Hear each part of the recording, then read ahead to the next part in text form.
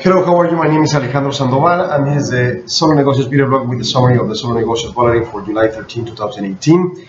Today, the Mexican peso got appreciated again with a good turnout of the reunion between U.S. officers and Mexican President Enrique Peña Nieto, along with the virtual president for the next term, Mr. Andrés Manuel López Obrador. Uh, even when there's no official information on how it went in general terms, it seems that everything went well.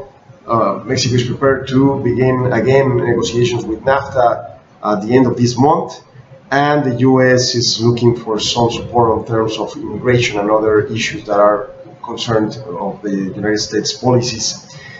Well, in the Bloomberg Dollar Spot Index went down 0.03%. USA import prices went down surprisingly in June when it was expected to grow. Consumer confidence was a little bit below the, the expected uh, figure, but this information allows us to think that the Fed will follow gradual policy increases on the rate.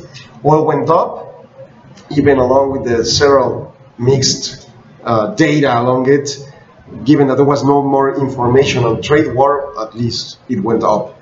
Banco de Mexico's exchange hedges were demanded 2.33 times the $200 million offered for 33 days, a little bit less um, volatility. But as expected on the bank spreads, 1.12 pesos, a little bit up one cent respect yesterday, and spot was 1850 to 1860, and resistance 1930 pesos per dollar in the wholesale market. The trend still going down for 30 days using a 12-month regression, linear regression, simple regression. Um, in policy terms, the U.S. growth has been solid in the first half of the year, given a Fed report to the Congress, and they consider that there's ground for uh, gradual increases of the rate in the following uh, periods. But the president of Dallas, Robert Kaplan, uh, warned that an escalation in the U.S. tariffs, the trade war, will hurt the prospects and then the economy, and then obviously they will have to be um, aware of that. He says that if, if trade tensions escalate, and while it is not work of the Fed, the trade policy, it must, it, it must react to it. So basically it's a warning position on what is going on on this trade war.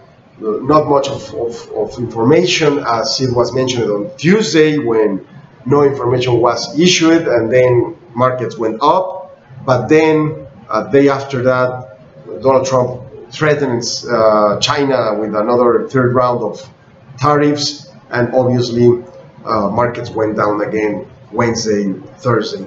But today, if there's no news again, well, we can find a position on on a situation where uh, this trade war is on a pause, let's say. Given that scenario, the oil cost up, but with a second weekly drop followed. Before trade war, Libya restores production. Other nations have trouble to sustain the, or raise production. The International Energy Agency warned that the world has a little, little supply capacity, so any new interruption will raise prices. So the trend is upwards, but there's like this late uh, mixing movements in the figures in the graph for oil. And well, we don't know what's going on uh, in the following day because it's even uh, impossible potentially to analyze oil given that trade war impacts us pretty hard, but any interruption impacts hard also, but US dollar impacts hard, but you know everything has uh, a lot of meaning for that market. So it's too volatile and it impacts also the other markets. So in the end, it's a complex situation. That's the information we have for today. We'll see you next Monday. Thank you very much for your attention.